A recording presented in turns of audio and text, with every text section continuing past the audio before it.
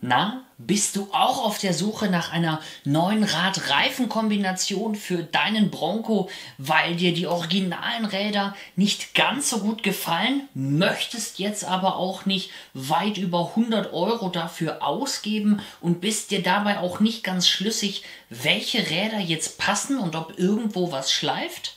Dann ist das genau dein Video.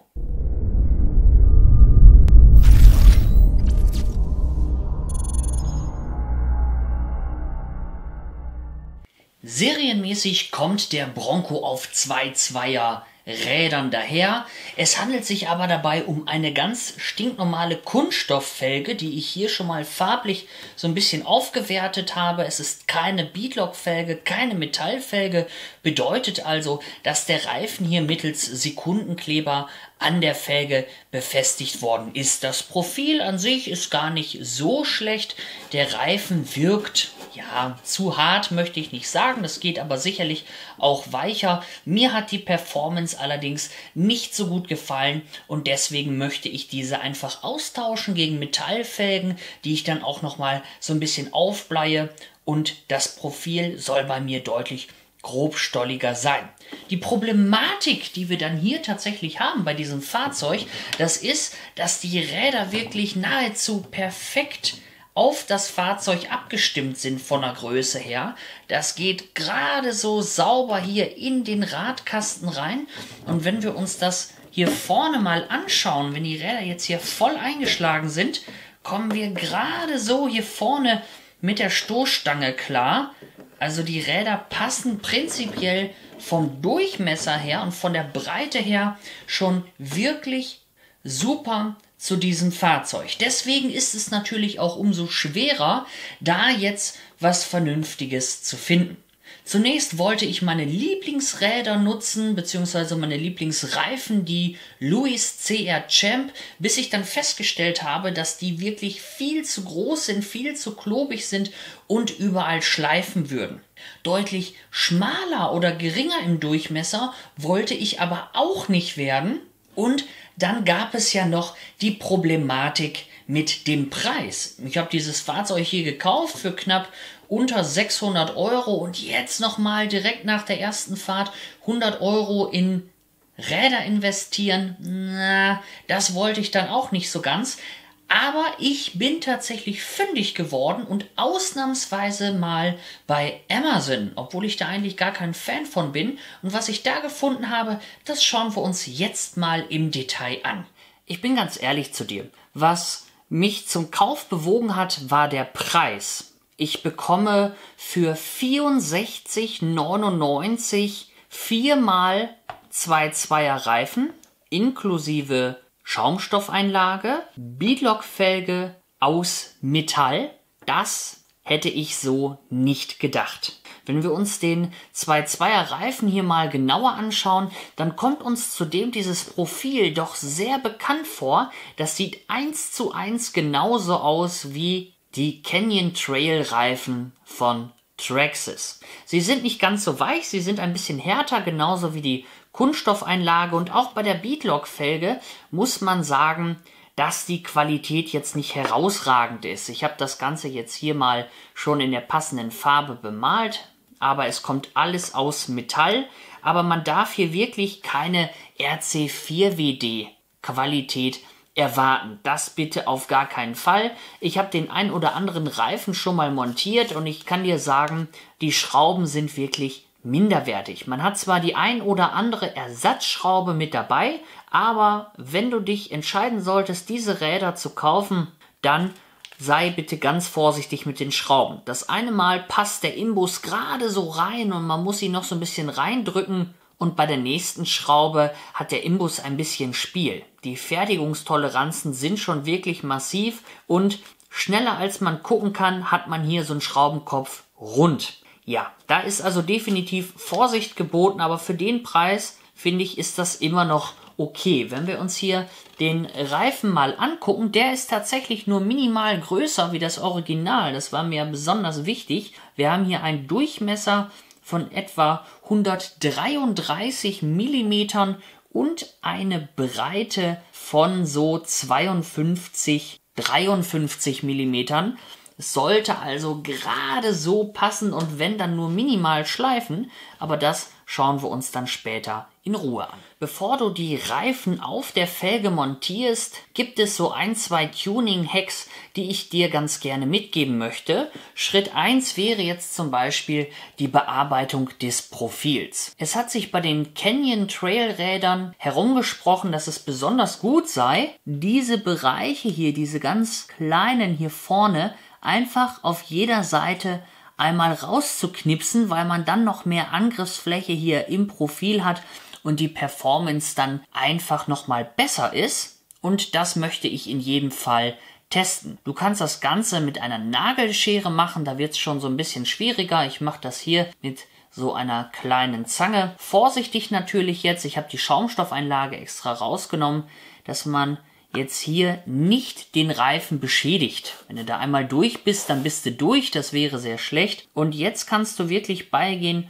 und diese kleinen Teile hier vorsichtig rausknipsen. Das Ganze dauert ein Weilchen. Nach der Bearbeitung sieht das Profil dann so aus und ich bin mir sicher, das kriegst du sogar ein bisschen schöner hin als ich. Ich würde dir auf jeden Fall empfehlen, das Ganze im Wohnzimmer zu machen. Deine Frau wird aus der Ferne brüllen, weil sie denkt, du würdest dir die Fußnägel schneiden. Und du darfst später überall diese ganzen Gumminupsis von dem Teppich sammeln hinterm Sofa. Das wird ein Fest. Schritt 2 wäre dann das Aufbleihen der Felge. Mehr Gewicht am tiefsten Punkt des Fahrzeugs kann gerade im Crawler-Bereich auf keinen Fall schaden. Dazu nehme ich hier gerne diese Felgenauswuchtgewichte und die klebe ich jetzt hier schön auf den Kranz einmal drauf. Man muss natürlich gucken, ich würde das Ganze jetzt nicht endlos aufbleihen, denn Gewicht bedeutet natürlich auch immer Verschleiß für die Achsteile.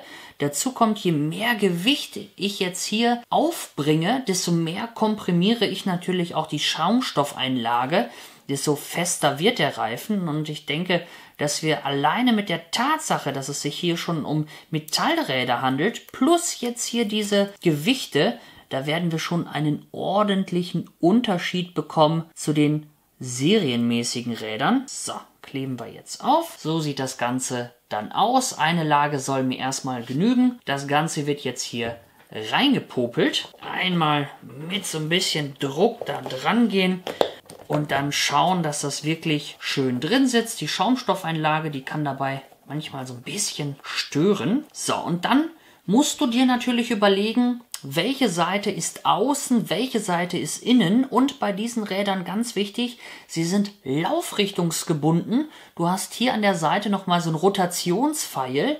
Da schau bitte drauf, es wäre jetzt nichts ärgerlicher, als wenn du alle Räder montiert hast und dann später feststellst, dass die Laufrichtung bei manchen falsch ist, du das alles wieder auseinanderreißen musst. Das wäre wirklich sehr ärgerlich. Das ganze Zusammensetzen ist dann auch gar nicht mehr schwer, wenn du dich über die Laufrichtung informiert hast. Dann kommt der Kranz hier einfach so durch. Zack, dass er das hier schön festhält. Und oben schraubst du die Seite dann schön fest. Ich zeige es dir jetzt nur einmal ganz grob. So, das Ganze wird dann komprimiert zusammengedrückt. Zum Schluss Radmitnehmer drauf. Schrauben dazu findest du alle mit im Lieferumfang. Was ich dir jetzt hier auch empfehlen würde, ist, nimm einfach mal mittleren Schraubensicherungslack, weil es sieht auch immer sehr blöd aus, wenn sich hier mal was löst und dann fehlt nachher eine Schraube und das umgehst du einfach, indem du überall so einen kleinen Tupfer drauf machst. Es hält einfach satt und gut, aber du kannst es im Notfall immer noch mal wieder lösen. Das ist gar kein Problem. Fertig montiert sieht's dann so aus. Sehr hübsch, wie ich finde. Und jetzt wollen wir mal gucken, wie ist denn der Gewichtsunterschied. Hier der Originalreifen mit 146 Gramm, vielleicht noch 2 Gramm, ein bisschen hier Dreck drumherum. Durch Wasser bin ich nie gefahren, damit kann er also nicht mehr beschwert sein. 146 Gramm, der originale Reifen und jetzt haben wir hier 314. Ich finde, das ist doch ein deutlicher Unterschied. Wenn ich das jetzt mal 4 rechne, Damit können wir doch auf alle Fälle schon mal besser arbeiten. Aber jetzt fehlt natürlich noch die wichtigste Frage, wie sieht's denn aus? Wo schleift es? Und was müssen wir an der Karosserie bearbeiten? Die für uns kritischste Stelle finden wir sicherlich an der Vorderachse, nämlich beim maximalen Lenkeinschlag. Also hier vorne mit unserem Lenkgestänge, das passt ganz gut und auch mit dem Radkasten, wenn er voll eingefedert ist, ja, kommt da so ein bisschen hier an den Kotflügel. Das war aber bei den Originalrädern auch so. Das Einzige, wo es bei den Originalrädern wirklich extrem knapp war, das war hier bei der Stoßstange. Und hier ist so der einzige Bereich, wenn wir jetzt voll einfedern, also wirklich komplett, dann fangen wir hier minimal anzuschleifen. Das heißt, ich werde jetzt hier von dieser Stoßstange, hier sitzt jetzt soweit nichts drin, werde ich einfach ein kleines Stück wegnehmen, sodass wir dann hier wirklich eine schöne Freigängigkeit haben. Das mache ich mal, das zeige ich dir jetzt mal, was ich jetzt hier vorsichtig wegnehme. Und jetzt hörst du es noch. Ja, dass das hier so ein bisschen schleift. Und dann schauen wir uns jetzt mal an, wie es jetzt aussieht im bearbeiteten Zustand. Das Ganze habe ich mit einem Dremel so ein bisschen bearbeitet. Und wenn wir uns das hier mal anschauen, dann haben wir jetzt hier wirklich eine schöne Freigängigkeit, auch wenn wir jetzt hier den maximalen Lenkeinschlag nutzen. Unten hier an der Stoßstange habe ich etwas weggenommen, oben auch. Hier oben musst du ein bisschen aufpassen, dass du nicht zu viel wegnimmst, weil sonst sieht das hier bei der Karosserie ganz dämlich aus, wenn dir da auf einmal was fehlt. Aber wenn du das Ganze vorsichtig Schritt für Schritt machst, dann erreichst du hier wirklich eine schöne Freigängigkeit und hier unten juckt es wirklich kein, ob das jetzt zwei Meter weiter hier steht oder hier in so einer Rundung endet. Ich finde es ganz schick, ich finde es ganz gut. Schleifen tut nichts, aber wie sieht es denn jetzt an der Hinterachse aus? Was man definitiv sagen muss, der Reifen steht ein klein wenig weiter aus dem Radkasten heraus wie der Originale. Wenn wir das jetzt hier mal so kippen, dann sehen wir, der Originale, der würde jetzt ganz drin verschwinden. Und hier haben wir jetzt noch so zwei, drei Millimeter vom Reifen, die hier einfach überstehen. Was man jetzt natürlich machen kann, dass man an dieser Stelle mit einem Federwegsbegrenzer arbeitet, bedeutet also, dass die Feder sich nicht weiter komprimieren lässt als hier, dass man da einfach ein Kunststoffteil zwischenpackt, sodass dann hier wirklich Schluss ist. Ich möchte es auf jeden Fall erstmal so versuchen im Gelände und gucken, wie oft nutze ich denn wirklich den maximalen Federweg und jetzt zeige ich dir natürlich das, auf was du die ganze Zeit gewartet hast, die alten Räder im Vergleich zu den neuen. Bist du bereit?